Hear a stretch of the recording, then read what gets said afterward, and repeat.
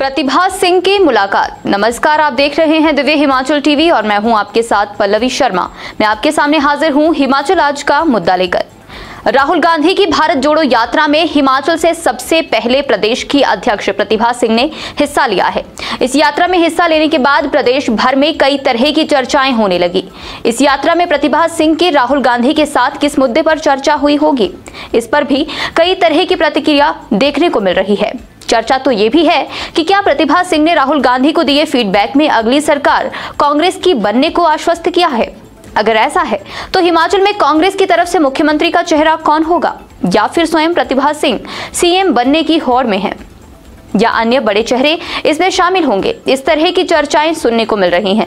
अब देखना है कि 8 दिसंबर के बाद रिज़ल्ट क्या आता है। तब जाकर इन सारी चर्चाओं पर विराम लगेगा। प्रदेश अध्यक्ष कांग्रेस की जी प्रतिभा सिंह जी।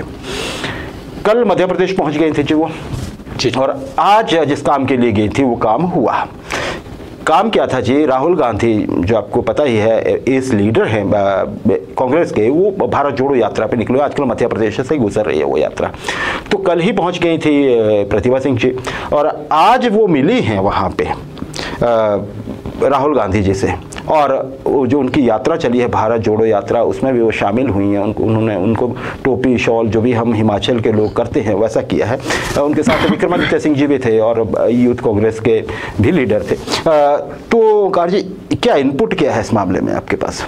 और जी बिल्कुल अनिल जी हिमाचल प्रदेश कांग्रेस की जो अध्यक्ष हैं प्रतिभा सिंह जी वो कल महू पहुँची हैं मध्य प्रदेश के महू में गई हुई थी हम्म। तो कल शाम को उन्होंने एक जनसभा को वहाँ संबोधित किया है हम्म। और आज वो रविवार को राहुल गांधी के साथ यात्रा में शामिल हुई हम्म। तो इस दौरान जो था वो राहुल गांधी जी को उन्होंने हिमाचल प्रदेश के जो चुनाव हुए हैं उसका फीडबैक दिया है। उन्होंने उनको आश्वस्त किया है कि हम सरकार में लौट रहे हैं। तो तो इस तरह की ये मुलाकात थी और इसके साथ ही प्रतिभा सिंह जी के साथ जो है उनके बेटे हैं और शिमला ग्रामीण के विधायक हैं तो वो भी हम्म। शामिल रहे। इसी के साथ युवा कांग्रेस के जो यदुपति हैं हम्म, यदुपति ठाकुर हाँ, यदुपति ठाकुर वो भी इस यात्रा में शामिल हुए। जी जी जी ओंकार जी बहुत बढ़िया। अच्छा एक सवाल पूछा जा रहा है। वैसे एक तो बड़ी बात है क्योंकि बहुत से नेता जो हैं वो मिल नहीं पा रहे हैं इस यात्रा के दौरान। राहुल गांधी साहब से आपको याद होगा कुछ नेताओं ने राजस्थान के नेताओं ने मिलने की कोशिश की थी। प्रतिभा सिंह जी भी गई। कल उन्होंने बताया कि वो मिलने वाले हैं। आज मिली भी वो उनका सम, उनको सम्मानित भी किया राहुल गांधी को और साथ में रैली में भी शामिल हुई वो।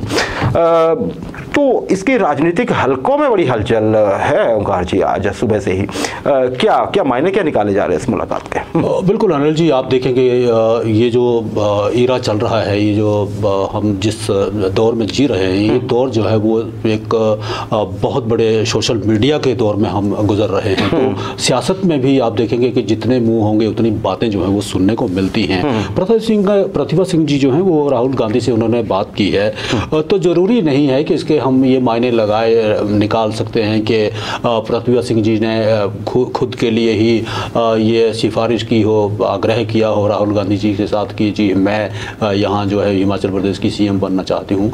इसके अलग भी मायने हो सकते हैं। ये भी वहाँ डिसाइड किया होगा, ये भी चर्चा की होगी उन्होंने कि अगर हम वहाँ जीत रहे हैं तो कौन सा चेहरा जो है वो हिमाचल में सीएम के योग्य होगा? किस व्यक्ति को हम सीएम मान के चलें? या सरकार का गठन किस तरह से होगा। तो ये तमाम बातें जो हैं वो हम एज्यूम कर सकते हैं कि वहाँ हुई होंगी।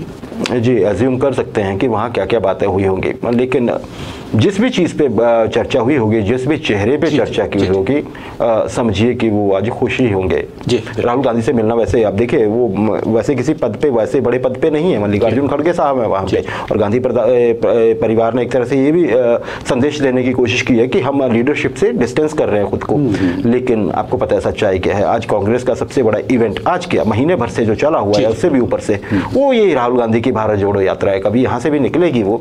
सवाल तो ये भी कही कहे जा रहे हैं हैं कि जी यहाँ नज़दीक मिल लेते हैं कि अब अपने प्रतिभा सिंह जी लेकिन नहीं आप टाइमिंग समझिए। तो ऐसा नहीं हो सकता कि और वो प्रदेश अध्यक्ष का बात करना बनता भी है तो इसे ऐसे लिया जा सकता है। अच्छा जी एक और कांग्रेस की ही हम चर्चा कर रहे हैं तो एक और बड़ा प्रश्न उठाया है जी कांग्रेस ने जो कई दिनों से वो उठा भी रही है। कांग्रेस की ओर से पोस्टल बैलेट को लेकर कुछ गंभीर आशंकाएँ व्यक्त की गई हैं कुछ गंभीर सवाल खड़े किए गए हैं। क्या सवाल है ये? पुरानी बात तो है कुछ जोड़ा है कांग्रेस ने और बिल्कुल, अनिल जी, देखिए, एक बहुत ही गंभीर विषय है और बड़ी चिंता की बात भी है कि 8 दिसंबर को आप देखिए कि चुनाव का परिणाम आना है और अभी तक जो है हज़ारों कर्मचारियों के जो डाक मतपत्र हैं वही जो है वो मिल नहीं पा रहे हैं और जो कर्मचारी अपना वोट जो है वो डाक के माध्यम से भेज रहे हैं तो उन्हें रसीद नहीं दी जा रही है। इन्हीं शिकायतों को लेकर कांग्रेस चुनाव आयोग के पास आज पहुँची हुई है। कांग्रेस का जो विधि विभाग देख रहे हैं अधिवक्ता हैं आई एन मेहता तो उन्होंने चुनाव आयोग के पास जो है एक विस्तृत शिकायत पत्र भेजा है सौंपा है। तो उनमें उसमें उन्होंने ये ज़िक्र किया है कि कुल एक लाख सत्ताईस हज़ार और दो सौ सतासी पोस्टल पोस्टल बैलेट वोटर हैं। तो इनमें से उनसठ हज़ार सात सौ तेईस स्टाफ पोस्टल बैलेट जो है वो विभागों को भेजे गए थे। अब आप देखिए कि इनमें से उनका ये कहना है कि छब्बीस हज़ार चार सौ चौरानवे वोट ही वहाँ जो है वो जमा हो पाए हैं। इसी तरह आप देखें कि सर्विस पोस्टल वैलेट जो है वो सड़सठ हज़ार नौ पाँच सौ उनसठ हैं हम्म। तो इनमें से भी ग्यारह हज़ार पाँच सौ उनसठ ही वहाँ वहाँ जमा हो पाए हैं हम्म। तो छप्पन हज़ार बैलेट पेपर कहाँ गए हैं? ये बहुत बड़ी चिंता का एक सबब जो है वो कांग्रेस के लिए बना हुआ है। हम्म। और कांग्रेस इसी अपनी चिंता को लेकर इसी एक शिकायत के साथ जो है चुनाव आयोग आज पहुँची हुई है। जी देखिए ये मामला कैसे गंभीर है? मामला इसलिए गंभीर है पहले भी ये कुछ वर्ग कांग्रेस की तरफ़ से या बाकी भी कर चुके हैं चुनाव आयोग से ये फरियाद लगा चुके हैं। इसमें सिविल सोसाइटी के लोग भी हैं जो किसी मंच पे तो नहीं बोले लेकिन वो चर्चा कर रहे हैं कि ये जो जितने भी कर्मचारियों के वोट हैं हम्म। सिवाय जो आप ये समझिए कि हमारे फौजी जवान हैं जो दू, बहुत दूर दूर हैं जहाँ से डाक में दिक्कत भी हो सकती है पहुँचने में बाकियों के पाँच तारीख को पाँच बजे तक ले लिए जाए। हम्म, हम्म, क्योंकि तब गुजरात की भी पोलिंग खत्म हो जाएगी। अगर उसके बाद वक्त मिलता है तो प्रभावित होने का खतरा रहता है। पहले तो ये बात कही गई थी। दूसरा आपने ये कहा कि कांग्रेस ने ये आरोप लगाया कि बहुत से कर्मचारियों को चाहे वो कर्मचारी विभागों के हैं बोर्डों के हैं निगमों के हैं उन्हें ये नहीं मिले हैं सर्विस वोट जो होते हैं पोस्टल बैलेट जो होते हैं ये कांग्रेस का आरोप है जो। आज उनकी तरफ़ से लगाया गया है नया आरोप है ये। और साथ साथ ये भी कहा गया कि जो भेज भी रहे हैं उन्हें रेसिट नहीं मिल रही है। हम्म। अब रेसिट नहीं मिल रही है भेज नहीं रही है गंभीर चीज़ है। दूसरा लगे हाथ उन्होंने ये भी बता दिया कि उनतीस प्रतिशत ही अभी तक पहुँच पाए हैं। तो उन्होंने ये भी कहा है इसमें ऑब्वियसली इशारा भाजपा की तरफ़ ही होगा कि इन मतों को प्रभावित करने की कोशिश की जा रही है। और खासकर आप ये देखिए कि ओपीएस को जितना भी वोट है उसे कांग्रेस अपने अपना मान के चल रही है। तो कांग्रेस को ये भी लग रहा है कि कहीं ऐसा तो नहीं है कि कहीं वो वोट प्रभावित हो जाएगा इतने दिनों से नहीं पहुँचा है।